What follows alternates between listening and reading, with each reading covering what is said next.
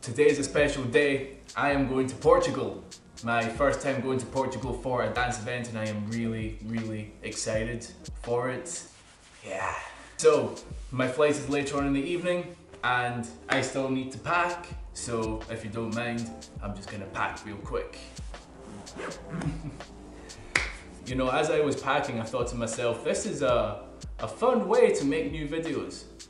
I think one of the things that I struggle with is creating authentic content about my life and the things that are going on in a way that's appealing to other people. And I find that my traveling is a great incentive to film, but also just the smaller things like packing or making coffee. You know, these are things that are going on in my life, so I should feel okay to share them. And yeah, so I think I'll be doing a lot more of that actually, so keep an eye out for that. Right, so that's me done. Let's go to Portugal. One of the things that I've learned as a creative artist is you have to make the most of your time.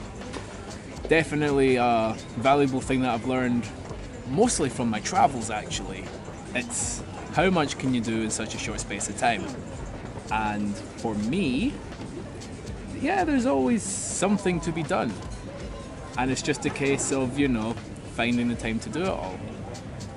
There are some times where, you know, you have to work on the move, like right now, and you know that's that's okay with me. So, while I'm at the airport early, got a few emails to send, some other things to sort out, and then I can get in the mode for Portugal. I hope that this thing can see me.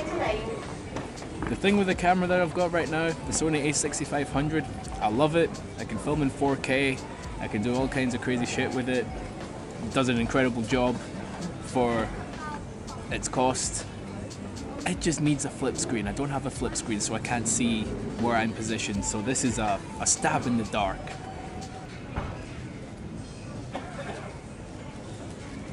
Got that sorted. Now I have about 25 minutes, 30 minutes before I need to board my flight. I got time to kill, so I think I'm just gonna chill. It's good it's good to have these moments where you're just at peace, doing nothing and just taking everything in. It's good shit. Off I go to my gate. Which gate am I at? 27D? Let's do it. Oh, once again, I am on my travels. I enjoy traveling. I enjoy being at the airport. I just enjoy all this. Who's in Amsterdam? This guy. I have about 30 minutes before my next flight leaves, heading to Porto. And I am in a new part of the airport. I don't think I've been in this part of the airport before. I am often in Schiphol if I'm connecting flights, but this is, I think this is my first time around here. Looks strange to me, but that's the beauty of traveling, just seeing different things. Now, where am I? Okay, I think tonight might be an early night. I don't know if there are going to be any parties going on or what. Technically, this is day one and I'm missing day one, so I'm pretty sure there's going to be shit going on. But for what I'm here to do, my job starts tomorrow. So I might just end up having an early night, but let's just see. But for now, but for now, I need to get to my gate. Well, well, well. I am here. Finally. That is what I'm talking about. Finally here in Porto. Flight arrived on time, everything is good. Got picked up by the team for Porto World Battle.